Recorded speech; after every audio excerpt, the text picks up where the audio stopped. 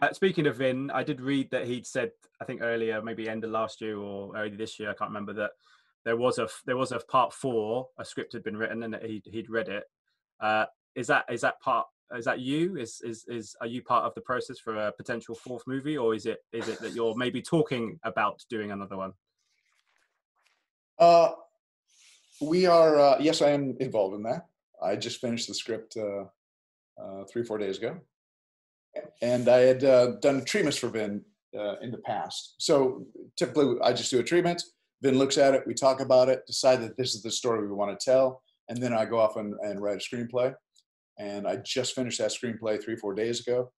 Um, for lack of a better title, we're just calling it Riddick 4 colon Furya. We'll see if that sticks. We'll see if it changes. But um, yeah, the expectation is Vin's loving it. So the expectation is that we can, uh, we'll pop it sometime in 2021. Fantastic. Is that you directing as well, or are you letting someone else have a go this time? I'm the guy. You're the guy. That's exciting. That's very exciting. But I guess in terms of uh, obviously, uh, you are, are you going to be doing it the same way you did Riddick? The th- obviously part three. Are you going to be doing it yourselves, as in you're going to be doing it independently from a from a studio system? You want to try and keep it. I think there's an obligation at this point to um, see if Universal wants to be involved because Universal has distributed all three movies, uh, but they only financed the second movie. Somebody else financed the first movie, and then in, we raised independent money to do the third movie. So there's an obligation to see if they want to be involved uh, and to what extent. Ideally, you know, them distributing is a very good thing for us, right? Because they've got the machine, they've got the cloud. So at a minimum, that's what we would want them to do. So we'll see. Those negotiations will probably start next week. You know?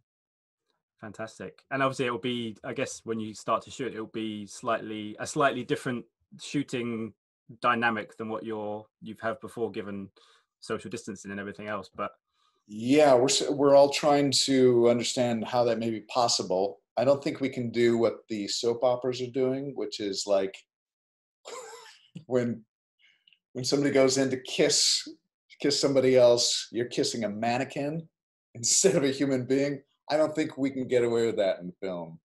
So yes, there will be. Um, yeah, we we're going to be moving slower because of the COVID-related precautions. I know that, and that's going to drive up the cost of the movie of, of not just our movie but any movie. So I'm trying to figure all that out right now. But you know, hopefully, hopefully by you know spring of next year, we'll be in a better place than we are here in summer of 2020. Ladies and gentlemen, you're watching Hey You Guys! Hey You Guys, huh? Hey, you guys. Is that from the Goonies? It is indeed, yeah. Nice. Hey,